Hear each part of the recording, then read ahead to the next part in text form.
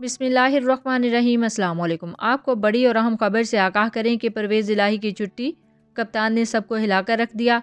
टक्कर देने वाला इमरान रियाज खान नून लीग से टकरा गया। कप्तान के फैसले ने सबको हैरान करके रख दिया। एंकर इमरान रियाज खान नई निगरान वज़ीर अजम पी डी एम मुश्किल में फंस गई। इमरान रियाज खान को कप्तान ने निगरान वज़ीर अजम के लिए चुन लिया। पाकिस्तान की सियासत में नया रुख आ गया। इलेक्शन के ऐलान से पहले ही नून लीग को बड़ा सरप्राइज़ मिल गया। इमरान खान ने नून लीग की सियासत का जनाजा निकाल के रख दिया। नजम सेठी पंजाब का निगरान वज़ीर अजम बन सकता है तो एंकर इमरान रियाज क्यों नहीं? तहरीक इंसाफ ने नून लीग और जरदारी को मुश्किल में डाल दिया।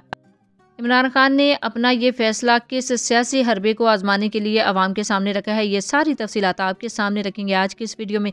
लेकिन वीडियो की तफसीत में जाने से पहले आपसे रिक्वेस्ट है कि हमारे इस चैनल को सब्सक्राइब कर दे ताकि हमारी नई आने वाली तमाम इंफॉर्मेटिव वीडियोज़ सबसे पहले पहुँचे आपके पास। जी हाँ व्यूअर्स नजम सिटी को पंजाब का निगरान वज़ीर अला बनाने वाली मुस्लिम लीग नून और पीपल्स पार्टी बड़ी मुश्किल में फंस गए इमरान खान के एक ऐलान ने पाकिस्तान की सियासत में हलचल मचाकर रख दी। नून लीग की सियासत तबाह होकर रह गई। इमरान खान ने पाकिस्तान के सियासी बहरान का हल निकाल कर दे दिया। नून लीग हमेशा से एक ऐसी चाल चलती है जिसमें इनका फ़ायदा हो। उन्होंने अपनी बारी नजम सेठी को पंजाब का निगरान वज़ीर अला बना दिया। उन्होंने इमरान खान का इलेक्शन हरवा दिया। जिसके बाद इमरान खान ने कहा था कि नजम सेठी ने 35 पंक्चर लगाए हैं और इसी वजह से तहरीक इंसाफ इलेक्शन हारी है। नून लीग ने पाकिस्तान की सियासत में इस बात को साबित किया है कि सहाफ़ी को मुल्क का यानी किसी सूबे का निगरान वज़ीर अजम और वज़ीर अला लगाया जा सकता है। और इसी बात का फ़ायदा अब तहरीक इंसाफ के चेयरमैन इमरान खान ने उठाया है। इस वक्त अगर हम देखें तो इमरान रियाज खान पाकिस्तान की सियासत का वो चमकता हुआ सितारा है, जिनको सारे पाकिस्तान के लोग पसंद करते हैं। उनकी बात सुनी जाती है और नौजवान इनके दीवाने हैं। इमरान रियाज खान हमेशा हक की बात करते हैं। कुछ लोगों का ख्याल है कि एंकर इमरान रियाज खान कप्तान के हामी हैं, लेकिन आप देख चुके हैं जिस तरह उन्होंने पंजाब में उस्मान बजदार की हुकूमत को रगड़ा दिया और इनकी करप्शन सामने लाते रहे, ऐसा काम तो किसी नून लीग के सहाफ़ी ने भी नहीं किया होगा। यानी एंकर इमरान रियाज खान वो बात करते हैं जो हक की बात होती है किसी भी पार्टी की, लेकिन इनको नून लीग वाले कुछ पसंद नहीं करते हैं। इसीलिए इनको जेल में भी जाना पड़ा। जब से एंकर इमरान रियाज खान जेल से होकर आए हैं, तब से लोग इनको ज़्यादा पसंद करना शुरू हो चुके हैं। इनके चाहने वाले बढ़ते ही चले जा रहे हैं। इसी वजह से इस वक्त पाकिस्तान की मकबूल तरीन और ईमानदार शख्सियत कहा जाता है। इसी बात का फ़ायदा तहरीक इंसाफ ने उठाया है, यानी अवाम के सामने वो बंदा लाया जाए, जिसको लोग पसंद करते हैं और जैसे कि हम सब जानते हैं कि इस वक्त नौजवान के पसंदीदा एंकर इमरान रियाज खान ही हैं। और कप्तान ने इसीलिए इनका नाम पाकिस्तान के निगरान वज़ीर अजम के लिए दिया है, जिसके बाद नून लीग वालों को सांप सूंघ गया है। अब ना तो ये इस बात से इनकार कर सकते हैं कि एंकर इमरान रियाज खान सहाफ़ी है, इसलिए वो इसको पाकिस्तान का निगरान वज़ीर अजम नहीं बना सकते, क्योंकि इसी नून लीग ने नजम सिटी को पंजाब का निगरान वज़ीर अला बनाया था। वो भी एक सहाफ़ी थे। ये इमरान खान की ऐसी फतह है जिसका मुकाबला नून लीग के बस की बात नहीं है। एंकर इमरान रियाज खान का पाकिस्तान के निगरान वज़ीर अजम बनेंगे, इनका फैसला अगले चंद दिन में हो जाएगा। व्यूर्स अब ज़रा बात कर लेते हैं नवाज़ शरीफ के बारे में। जी हाँ व्यूर्स नवाज़ शरीफ बड़ी मुश्किल में फंस गए। लंदन में बैठकर सियासत करने का वक्त ख़त्म हो गया है। आज की बड़ी खबर ने हर तरफ़ हलचल मचा दी। किसी वक्त में पाकिस्तान के अजीम लीडर माने जाने वाला शख्स रसवा हो गया। लंदन अदालत ने भी फैसला सुना दिया। खुद को पाकिस्तानी सियासत का किंग समझने वाला किसी को मुँह दिखाने के काबिल ना रहा। पूरा कुनबा जायदादों से हाथ धो बैठा। इमरान खान ने पूरी दुनिया के सामने लटेरों की हकीकत खोल दी। पिंडी जलसे के बाद आम ऐलान कर दिया गया। लंदन से यूरोप और अमेरिका तक का सफ़र मुमकिन हो सकेगा या नहीं, माहिर की पेशन गोई सच साबित होने लगी। घर में बैठकर अरशद शरीफ के कत्ल की मनसूबाबंदी करने वाले पकड़े गए। सबूत पुलिस के हाथ लग गए। बरतानिया के बाद एफआईए ने भी बड़ी कार्रवाई करने का फैसला कर लिया। अहम शख्सियत का बयान रिकॉर्ड करने के बाद नवाज़ शरीफ के साथ क्या किया जाएगा? क्या बरतानवी हुकूमत नवाज़ शरीफ को वापस पाकिस्तान भेजने का फैसला कर चुकी है? क्या नवाज़ शरीफ अमरीका भागने में कामयाब हो सकेगा? आज की इस वीडियो में मुकम्मल मालूम फ्राहम करेंगे।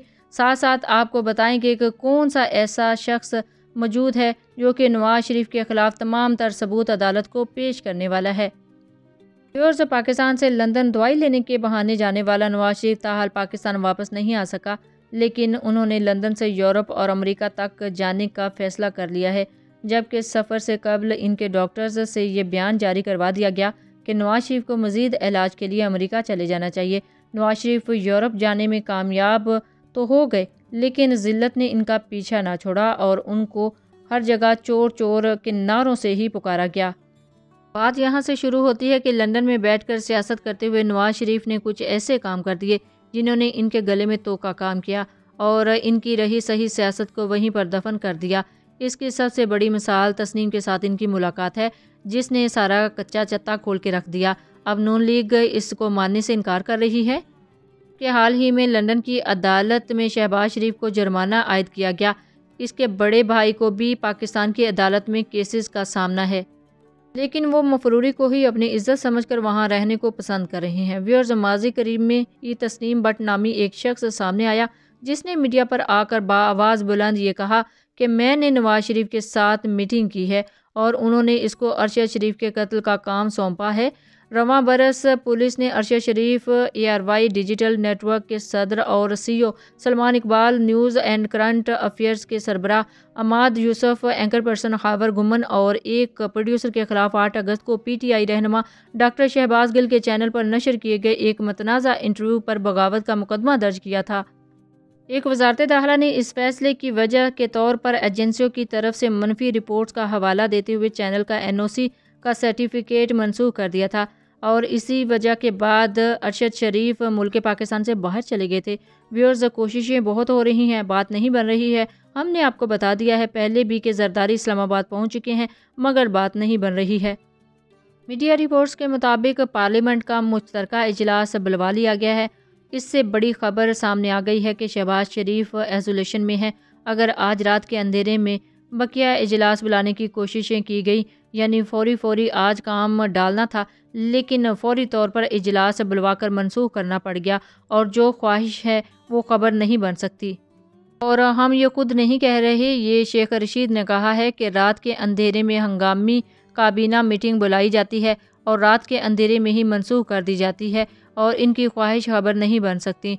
जरदारी भी इनका हिस्सा बन गई और हुकूमत सियासी फायरपोल से खेल रही है। जितना सियासी गंद बढ़ गया है वो पंद्रह रोज़ में साफ़ हो जाएगा, जिसका मतलब ये है कि उन्होंने कोशिशें अपने तौर पर की हैं, मगर बात बनती नज़र नहीं आ रही है।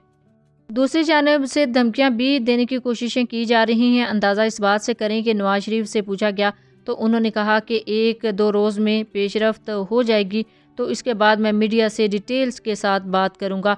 अब इससे पूछा गया कि क्या कोई पेशरफ हो गई है? एक जानब बातें और दूसरी तरफ़ बात नहीं बन पा रही तो परवेज़ इलाही की छुट्टी कप्तान ने सबको हिलाकर रख दिया।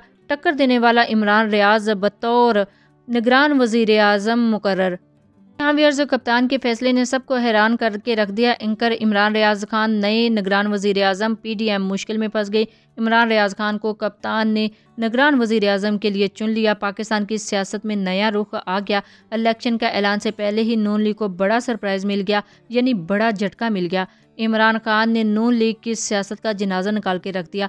नजम सेठी, पंजाब का निगरान वज़ीर अला बन सकता है तो एंकर इमरान रियाज खान निगरान वज़ीर अजम क्यों नहीं? यहाँ व्यर्स कप्तान के इस फैसले ने पूरी मुस्लिम लीग नून और पीडीएम को हला कर रख दिया है। आप, कप्तान के इस फैसले से किस हद तक मुतफिक है, अपनी कीमती राय का इजहार नीचे कमेंट सेक्शन में ज़रूर कीजिएगा। अगर ये वीडियो आपको पसंद आई तो इसको लाइक भी कीजिएगा और शेयर भी कीजिएगा। Thanks for watching